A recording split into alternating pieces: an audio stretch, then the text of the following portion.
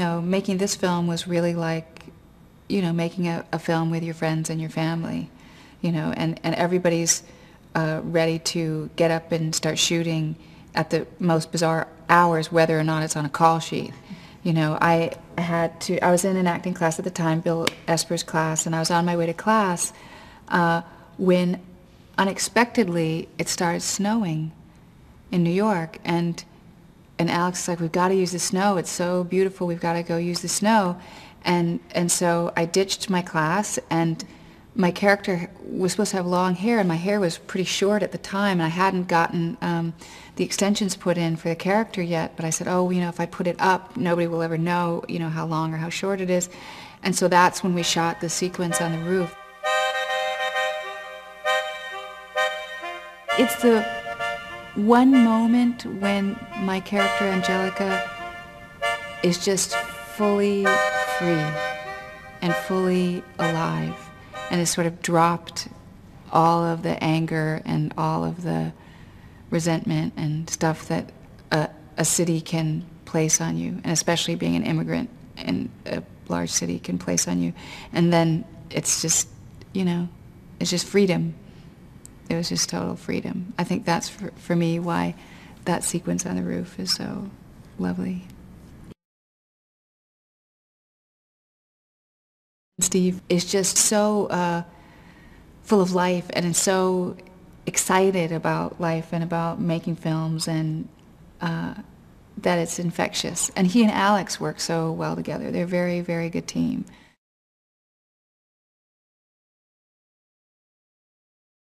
Know, I mean, I remember before um, we started shooting, you know, we had the financing and literally I think three days or something before we were going to start shooting, we lost the financing. And, and I remember Steve coming over and Steve and, and Alex were drinking vodka and playing ping pong because we had a ping pong table in our house. And, and I just started vacuuming, like I just started vacuuming like crazy. And I really hate cleaning, but I, I vacuum, I think, under duress. And uh, they were trying to figure out a way to put the financing back together. And, and Alex did within three days, pretty much. I is that true? Well, he did really quickly. I mean, probably within a week or two. So it was pretty um, extraordinary.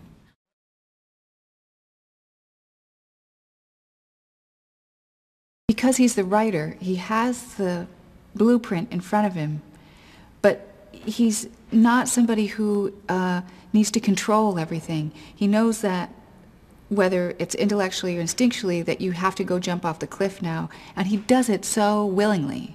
It's not, uh, it's not something that he thinks twice about, and, and he will ask other people their opinions, though it's always clear on the set that he's the captain of the ship. I mean, it's, you know, you, you feel in his life, I think that he carries certainly the most authority um, when he's on the set. He feels so at home on the set.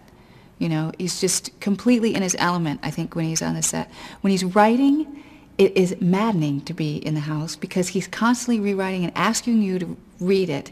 And if you're not laughing hysterically within two words, like he thinks something's wrong with it, and you just try to explain, you know, can you let me get past the first paragraph so I can really give you my comment? Um, so he's he's uh, very dedicated at writing and rewriting and making sure that everything is truthful and not he's not married to some um, path that the script must take. He knows that it's an organic process, so it's it takes a little bit of time. But then when he's on the set, it's like a kid in the candy store. You know, he's completely. Uh, it seems like he's completely uh, relaxed in, in his element and and uh, and just fed by adrenaline. And he loves actors so much. He loves them, and he loves uh, humanity so much. You know, it's really not about oh, let's make this so technically interesting. Let's make this so intellectually, academically interesting. Because all that stuff falls away. And at the end of the day, I think he knows that what you have is your relationship to another human being. And that's what's interesting. And that's what makes it exciting to be alive.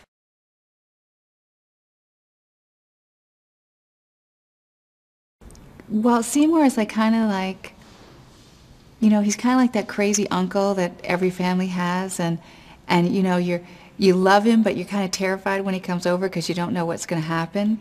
Um, but you know that. Well, for example, I was in L.A. and I uh, somebody had broken into my yard and I was terrified and it was three o'clock in the morning and I was by myself and I called Seymour because I knew that Seymour would help me and he would take care of me. And he's the person that will embarrass you at the party um, by flirting outrageously with, you know, uh, every woman that walks by and you just want to hide because it's just, just over the top. But he's also the guy that you will call in the middle of the night to come help you and he'll be there to help you and he's amazing. Um, and as an actor, he's just, you know, I think that everything that you are informs your acting and, and, uh, and Seymour has just lived such an intense life that it gives uh, an incredible immediacy to his characters and, and, and the things that he improvises are really fantastic. And he, he's infuriating too. I mean, don't get me wrong. He's like totally, totally infuriating because sometimes he won't stop with the mischief, you know, the the the uh, mischief. Um, there was this, there's a scene outside an elevator, and uh, I'm really angry with with um, Steve's character and and and angry with Seymour's character, and I was so tired. I was really tired. And I remember just before we did the take, I think Seymour pushed me, like he pushed me, and I wanted to rip his head off. I remember, because it's just like the mischief wouldn't stop. And it was really helpful to me. And I realized that um, he was trying to help me. You know, that's what he was trying to do. He was trying to help me. And, and uh, it was great. It was really sweet.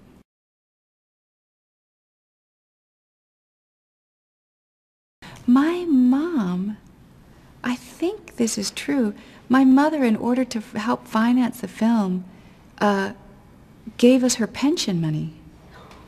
She took her money out of her pension plan and gave the money for some of the financing for the film, you know, which is an incredible gesture of good faith. Gosh, I just remembered that. I wonder if Alex has paid her back. Hi, Ma. It's going well. I just, I'm on camera and I have a quick question to ask you. Okay, and in the soup, you gave Alex some of your pension money, right, for the financing?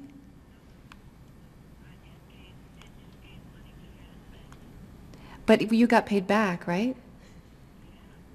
Oh, okay. I'm just checking because I couldn't remember. I could. Oh, I think that's Alex calling me on the other line. Hello.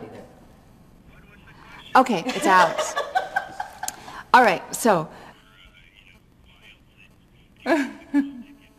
okay, good. All right, bye. Uh, so it wasn't my mother's pension. It was money that they had in the bank, that she and my stepfather had in the bank, and they did get paid back.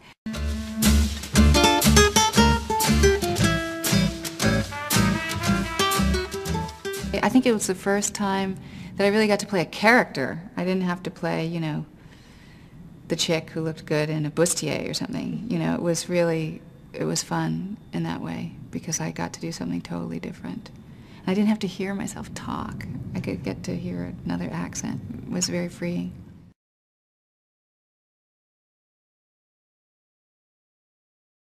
It was an amazing festival. Allison Anders was there, and Robert Rodriguez was there, and Quentin was there with Reservoir Dogs, and we were there with In the Soup, and and Alex and Quentin became really good friends from that festival, and and Allison became friends with everybody at that festival, and and it just these were all just people were really who were really excited about filmmaking, and think I mean we didn't I don't know I didn't even think about the possibility of winning the prize. I mean it just would be shocking. And I, I, it was just such a huge moment when the film won the prize. It just was huge because it meant uh, that it would have a life outside of the festival and that other people would get to see it.